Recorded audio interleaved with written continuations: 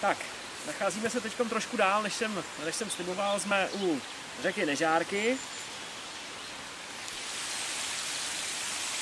A jsme na kraji, na kraji luhu a zkusíme se podívat, co nám tady na jaře roste a potom bychom se sem vrátili ještě v létě, abychom se podívali, jak to potom vypadá, vypadá v létě. Tak, v tom jarním aspektu, co nám tady, co nám tady kvete, asi jedna z těch dominantních rostlin, které uh, jsou vidět, kvetou tady takto, takto fialově, tak je to lámium. Uh, my známe především lámium purpureum, tady tento druh vypadá velmi, velmi podobně, ale má daleko větší květy a hlavní znak, jestli si to dobře pamatuji, tak je vidět na té koruně, konkrétně korunní trubce, která je krásně esovitě prohnutá.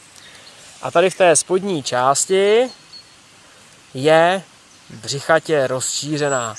Je to jeden z takových těch typických druhů těch vlhčích, vlhčích lesů Lamium maculátů. Další rostlina, která nám tu kvete, tak nám tady kvete něco žlutě, to je tady, to je tady tohle, to je zase typická jarní rostlina, s takovými plazivými, plazivými výběžky. Je to zástupce z čeledi ranunkuláce, orsej, Ficaria verna. Jeden z těch typických jarních žlutě kvetoucích zástupců z čeledi ranunkuláce pryskyřníkovitý.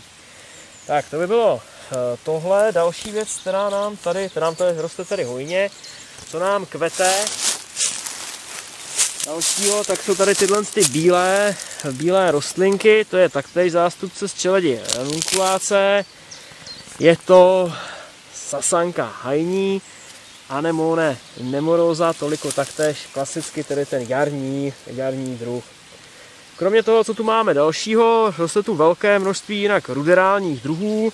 Tady tyhle ty listy patří eh, zástupců z čeledi apiáce, Heracleum spondilium, to je tady, tady tyto listy. Daleko větší množství než Herakleum jsou tady tyto, tyto lístky, které jsou tady téměř všudy přítomné. To je bešlice kozí noha, Ergopodium podagraria. Taktéž tedy ruderální rostlina. Z těch dalších rostlin živinami bohatých stanovišť je tady Galium aparine, svízel přítula. Nevím, když se to přiblíží, jestli budou vidět ty krásné zpětné háčky, které se nacházejí na lodize. Když ne, tak je máte vyfoceny v uh, učebnici. Tak, to by, bylo, uh, to by bylo tohle. Kromě toho tady vidíme ještě listy uh, dalších zástupců, kteří nám tady v tomto místě aktuálně nekvetou, ale přeci jen se na ně, když tak můžeme, můžeme podívat. Jsou tady tyto, tyto listy zcela zjevně se souběžnou eh, žilnatinou jednoděložných, jednoděložných rostlin, typicky uh, geofitních, uh, vzhledem k tomu, že přímo ne tady, ale v okolí nám kvete Gagea luta, že to bude z největší pravděpodobností Gagea luta. Je tady ve větším, ve větším množství. Toto jsou starší rostliny. Tady si můžete všimnout tady těchto z těch jemných, jakoby pažitkových, pažitkových listů. To jsou semenáčky které eh, nejspíš pochází z loňského, z loňského roku.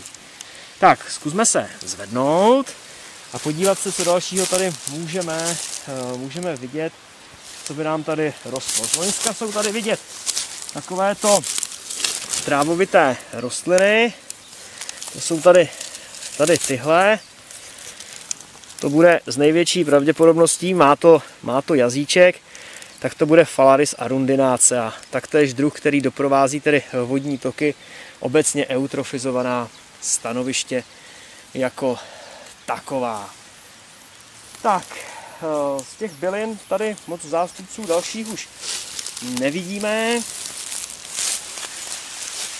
Eh, u těch cest většinou ještě rostou nějaký zástupci další, takže třeba tady na zemi tady tyto listy. To je kuklík městský, Geum urbanum. Další z těch ruderalizovaných, eh, nebo druh ruderalizovaných stanovišť. Z dalších jarních rostlin toho jarního, jarního aspektu je tady tohle.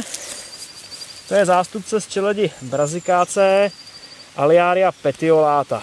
Česnáček svůj název dostal podle toho, že když se listy nebo lodyhy rozemelou, tak mají eh, vůni, která připomíná, eh, připomíná česnek, byť tedy samozřejmě s jednoděložnými rostlinami nemá nic eh, co dalšího společného.